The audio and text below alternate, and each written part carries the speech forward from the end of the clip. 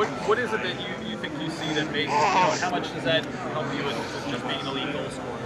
Yeah, definitely. You know, Monty is a hell of a coach. He's, he's, he's brought an incredible energy to our team, and and uh, ever since he, he joined the team, you know, he, he's a good coach. He uh, he knows where the goals are scored, you know, and that's my probably favorite part about him.